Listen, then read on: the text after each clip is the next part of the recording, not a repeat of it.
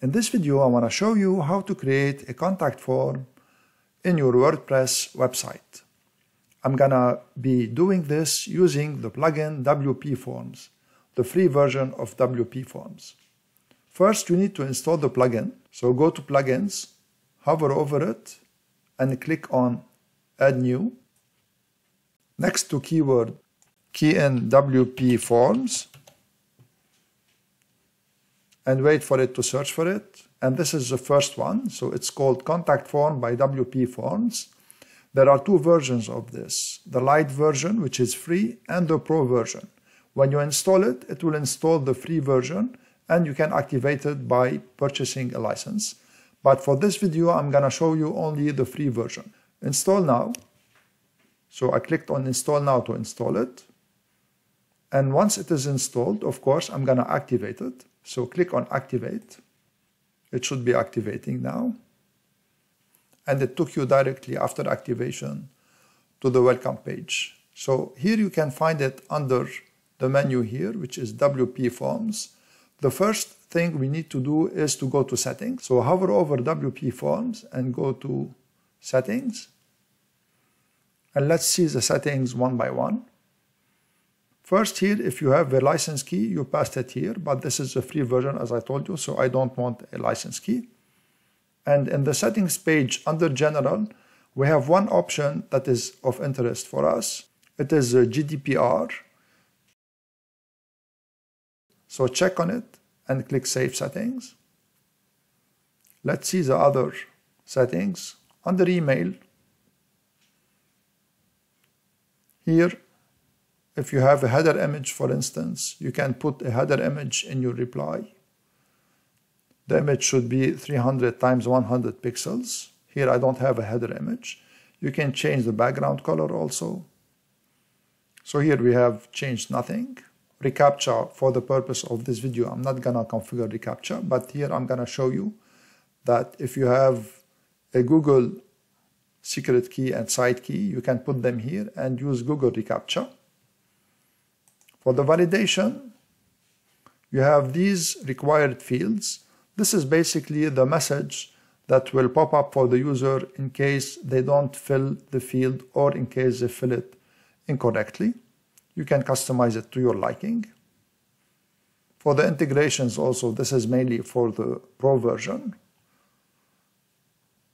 Access, also this is for the Pro version. And under miscellaneous, here. If you want, for instance, to hide the announcement from this plugin, you can check it here. And also, if you want to hide the admin bar menu, you can check it here. So it will hide this one here, but I'm going to leave it unchecked. And this is important here. So in case you want to uninstall WP Forms and you don't want to leave any settings behind, you can check this one. And once you uninstall and delete the plugin, it will delete all its settings. This is useful for testing and for environments where you only want to use it temporarily.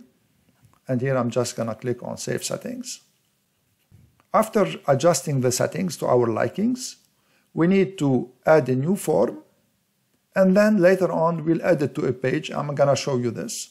So click on Add New to add a new form.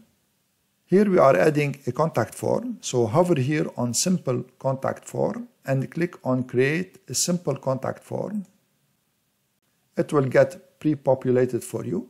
So here are the standard fields which come with the free version. And here are the, they call it fancy fields, but these are only for the pro version. So I'm gonna concentrate only on some fields here. The simple contact form here, you can change its name by clicking on it, of course. So let's say here, contact us. And if you want to add the CSS class, you can put it here.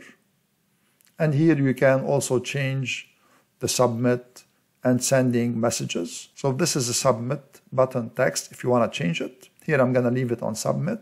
And for the sending button processing text, you can change also this message here. I'm going to keep it as it is.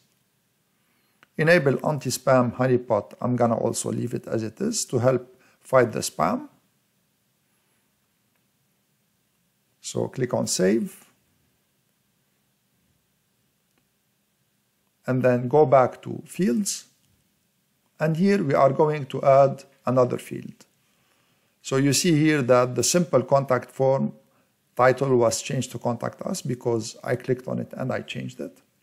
And let's add here, for instance, a field, a drop-down field, which is the gender. So click on the field and just drag it and put it wherever you want here. I'm gonna put it just before the message. And you can configure the field. To configure it, you click on the right here, which is click to edit, drag to reorder. So I'm gonna click on edit. And once you click here, you have the options here. So the label here, I'm gonna change it to gender. And the first choice, let's put it male. And second choice, female. And third choice, prefer not to, not to say. Let's see the advanced options. And the advanced options here, you have the style if you want to change it from classic to modern. I'm going to leave it at classic. You can play with these options, of course, so you can modify the form to your liking. And in the placeholder text, here, for instance, you can say optional field. And let's click on save now. So we have in the contact us form, you have your name, first name, last name, the email, and you have the gender and the message. So once you create the form here, let's click on settings to see the other settings. We already configured the general settings, which is the form name.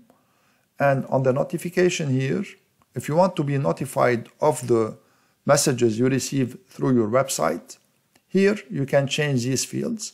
So this is here the send to email address where you will receive the messages from the contact form. If you leave it this short code, which is admin underscore email, it will get the email from your WordPress settings. So this is under settings general. And the email subject here, you can change it to your liking also. So you can say message from my contact form.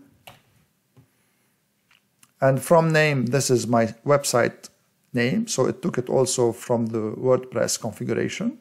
And from email also, you can either change it here to an email that you want or keep it to the admin email that is specified in WordPress. And here, this is all I'm gonna change. So I'm gonna click on save. And the other two options here, they are for the Pro version. So I'm gonna leave them. And once everything is saved, close it here. And now we need to create a page on our website so that we can attach it to the form. So go to Pages, hover over it, and click Add New. I'm using here the Divi theme, but I'm gonna create a page using WordPress. So I'm gonna simply here click on the add title and put contact us. And I'm gonna use the default editor. So this is the empty page. We need now to attach the form to it. It comes under the form of a widget. So click the plus here to add a block and choose widget.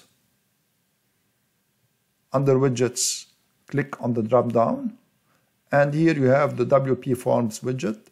Click on it and choose the form which is contact us form. And now first let's publish the page. And let us see the page, how it looks. And this is the page, how it looks on my website.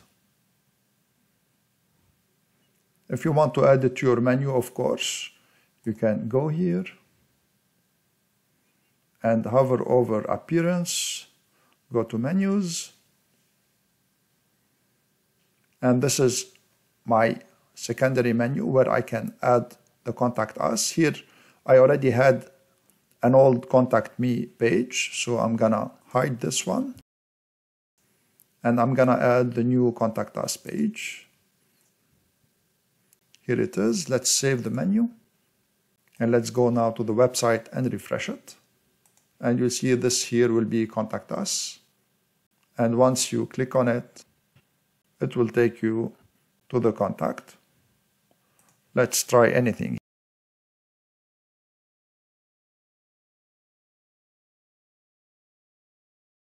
And let's click on submit. You'll have the sending here, and this is the message saying that the form was submitted correctly. And as you see here that I received the email on my website. All the fields are populated as we configured them. And this is a message I received. So that was it. I hope you enjoyed this video and found it useful. If you did, please share it, subscribe to my channel, and give this video a thumbs up. Thank you all for watching.